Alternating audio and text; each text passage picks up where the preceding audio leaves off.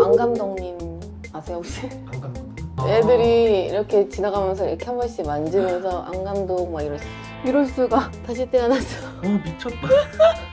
구독과 좋아요 눌러주세요 안녕하세요 저는 하남에 사는 조보나입니다 혹시 어떤 게 고민이셔서 오셨어요? 볼이 오른쪽이 많이 비대칭이 되어 있고요 턱살이 좀 어렸을 때부터 계속 꾸준히 턱살이 있었던 것 같아요. 살을 아무리 많이 빼도 계속 이렇게 턱살이 있고 좀 살을 많이 빼면은 여기가 좀 들어가긴 하는데 그래도 원래 비대칭이 조금 많이 심해서 결정을 했어요. 이 옆으로 한 번만 돌려주시죠. 앞으로 보면 잘 모르는데 옆에서 보면 여기가 어, 이렇게 좀 많이 내려와서 안 감독님 아세요 혹시? 안 감독님? 슬램덩크의 아. 안 감독님 네, 그 아. 애들이 이렇게 지나가면서 이렇게 한 번씩 만지면서 안 감독 막 이랬어.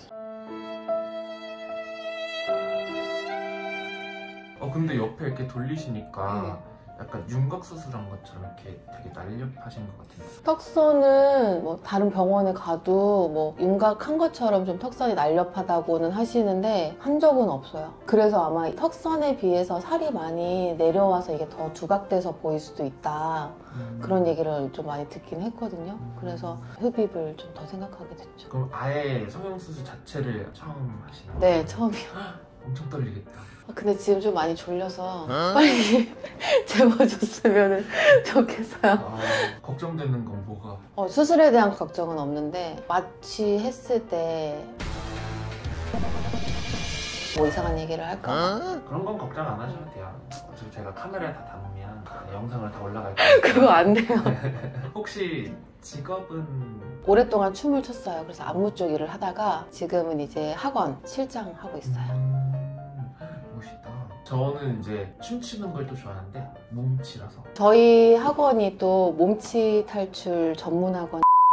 아까 양 감독님이랑 그런 에피소드도 짧게 말씀해 주셨는데 혹시 진짜 막 이건 난 아직도 스트레스다 하는 그런 근데 항상 있었던 게 제가 공연을 하거나 무대 화장을 하면은 머리를 올백을 해서 꽉 묶어야 되거든요. 네. 모니터링을 할 때 앞모습으로 봤을 때는 정말 얼굴이 갸름하게 나왔는데 옆모습으로 찍힐 때마다 너무 반전이 심했던 거. 음. 그래서 항상 방향을 계속 신경을 쓰고 포즈를 잡았던 것 같아요. 집에서 엄마는 뭐 장난식으로 얘기를 하시는데 턱살 조금 만 나와도 이렇게 지목을 어. 하시니까 엄마가 또 얘기하면 또 살찐 건가 내가? 약간 이렇게 생각도 들고 어머니가 되게 그런 거에 막 그게 있으신가 봐요. 엄마가 외모에 조금 신경을 많이 쓰세요 평상시 집에서도 마사지 같은 거나 이런 거 피부 관리도 직접 마사지 기계를 사셔가지고 어. 집에서 하시고 저도 옆에 있으면은 막 팩 하라고 하는데 저는 좀 그런 거 팩도 안 하고 관리를 좀 안 하는 편이라서 근데 그런 거 치고 아까 쿠션이 라메를 넣는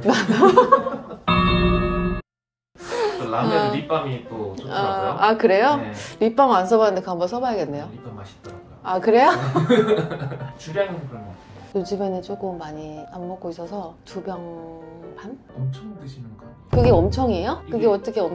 음...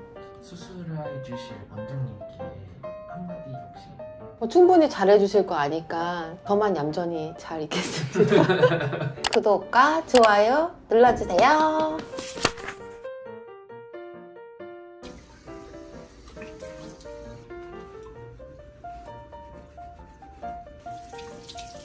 갖고 올게요. 구독과 좋아요 눌러주세요. 아프진 않아요? 인공 오늘 쓴 데가 아파요. 깼는데 집인 줄 알았는데 되게 너무 딱딱해서 팔 아프고 깼는데 집이 아닌. 그래서 아 나술 수술했지. 그때- 수술한 것도 까먹었어. 네, 그것도 까먹고 있었어요. 안녕하세요. 안녕하세요. 잘 주무셨어요? 하나도 못 잤어요. 왜요? 목이 너무 쫄려서 밥은 좀 드셨어요? 죽이랑 미숫가루 한 통을 먹었어요. 너무 배가 고파서. 빨대 꽂아서 한 통을 다 먹었어요. 뭐 아프거나 그러진 않죠. 아픈 거는 여기 조금 눌려서 아픈 거? 음. 그거 외에는 속 통증은 없는 것 같아요. 음, 그러면 이제 부목을 떼러 가시죠. 네, 드디어 뜹니다. 이 물을 여기다 뿌리는 게 나을 것 같은데? 또 그렇게 하셔도 돼요. 아, 이 정도가 뜨니까 빨리 떼고 싶다.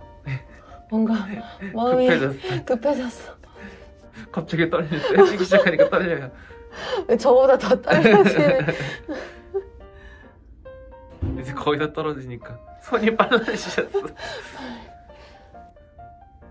오, 음. 오. 여기 어, 와 대박. 오. 천천히 빨리 떼세요. 어, 천, 아, 그 내가 많이 쓰는 말인데, 천천히 빨리. 손이 더 빨라지셨어. 아, 궁금해. 완전 완전 V 라인인데요 지금? 와, 와 대박. 이럴 수가. 다시 태어났어. 와 미쳤다. 턱선도 어제 그 옆에 고개 돌리셨을 때랑 지금 옆에 제가 지금 찍고 있는 거랑 엄청 다른데요. 많이 달라요? 네.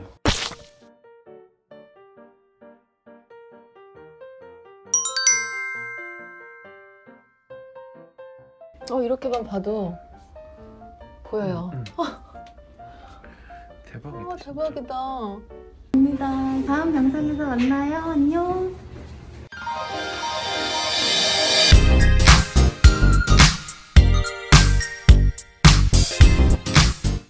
안녕하세요. 오늘은 제가 V라인이랑 이중턱 지방 흡입을 받은 지 3주차가 되는 날입니다. 저는 비대칭이 가장 고민이었었는데 오른쪽이 대칭이 많이 맞춰졌네요. 3주차가 되면은 좀 붓기가 있을 때라고 하셨어요. 그래도 저는 많이 부은 것 같진 않아요. 여기 속선도 많이 나오고 얼굴살이 많이 빠졌고요. 저는 100% 일단은 만족을 하고 있어요. 너무 좋은 병원을 찾아서 이렇게 후기까지 남기게 됐습니다. 감사합니다.